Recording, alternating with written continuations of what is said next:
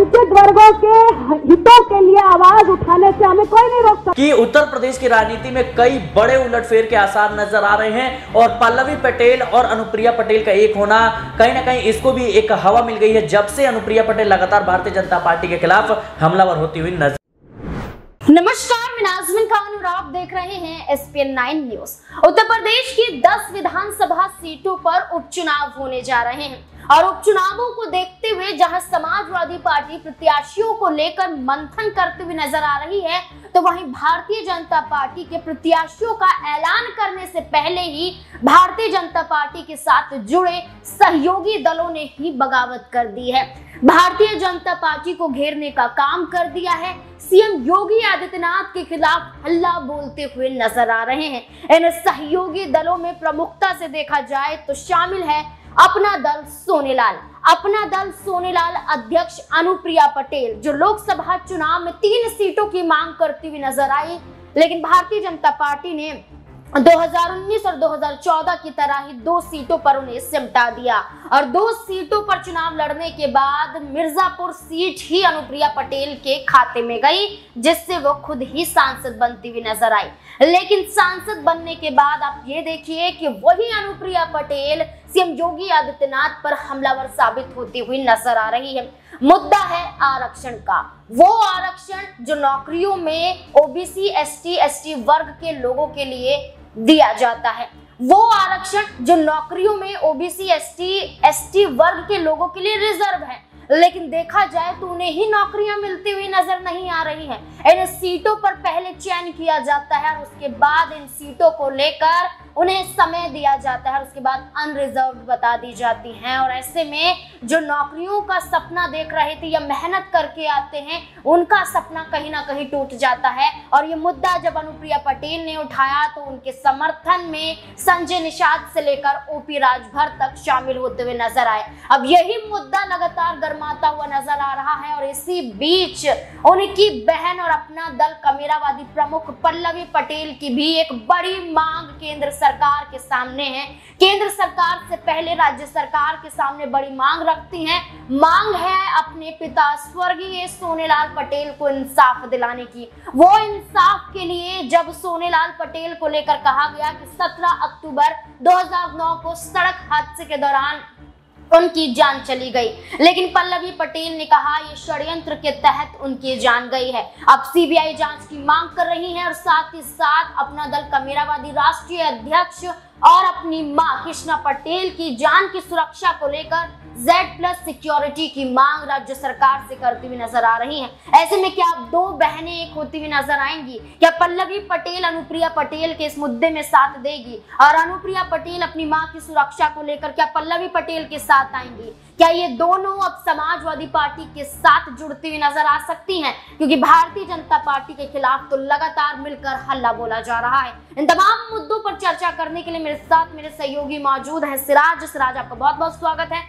सूरज, क्या लगता है? एक तरफ़ आरक्षण का मुद्दा तो एक तरफ़ सीबीआई जाँच की मांग। दोनों मुद्दे गंभीर हैं और दोनों ही मुद्दों को लेकर बहने राज्य सरकार को, यानी कि सीएम योगी आदित्यनाथ को घेरती हुई नज़र आ रही क्या कहना है?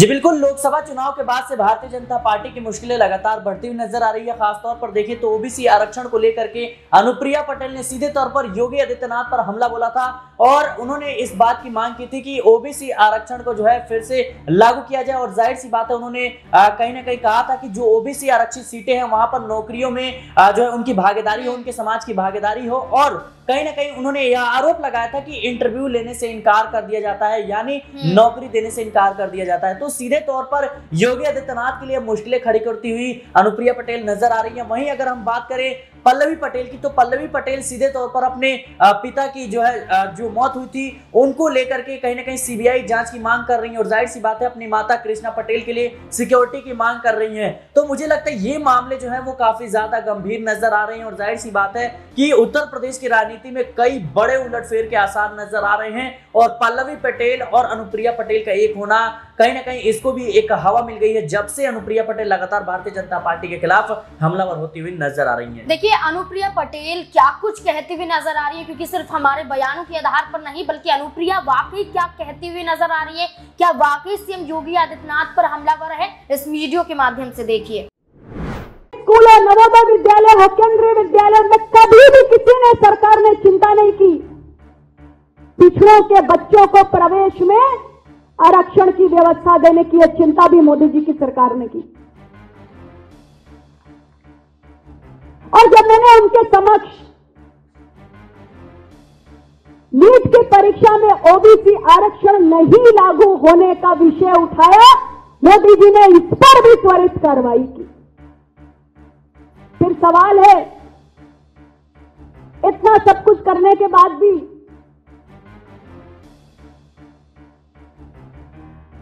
कहीं कुछ बाकी रह गया। और वो बात भी अपना दल ने निरंतर कही।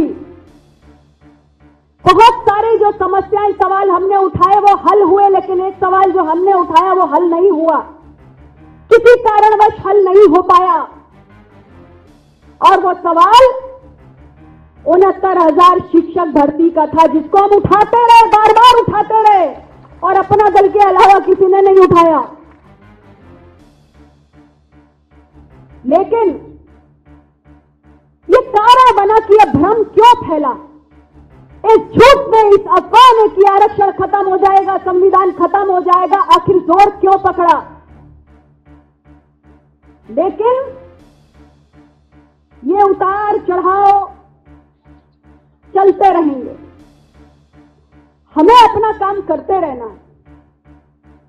वंचित वर्गों के हितों के लिए आवाज़ उठाने से हमें कोई नहीं रोक सकता तरीके से आपने ये वीडियो देखा इस वीडियो के आधार पर यही कहा जा रहा है कि अनुप्रिया पटेल ने हल्ला बोल दिया है।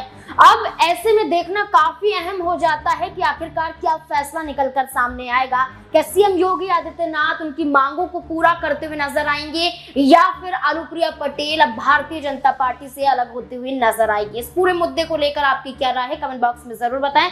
देखते रहे एस न्यूज़ धन्यवाद। सैनिक स्कूल और नवोदय विद्यालय हो केंद्रीय विद्यालय में कभी भी किसी ने सरकार ने चिंता नहीं की। पिछड़ों के बच्चों को प्रवेश में आरक्षण की व्यवस्था देने की यह चिंता भी मोदी जी की सरकार ने की। और जब मैंने उनके समक्ष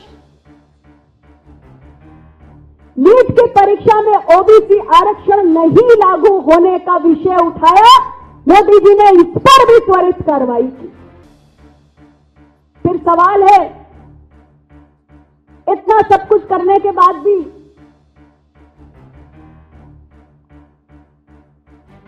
कहीं कुछ बाकी रह गया। और वो बात भी अपना दल ने निरंतर कही।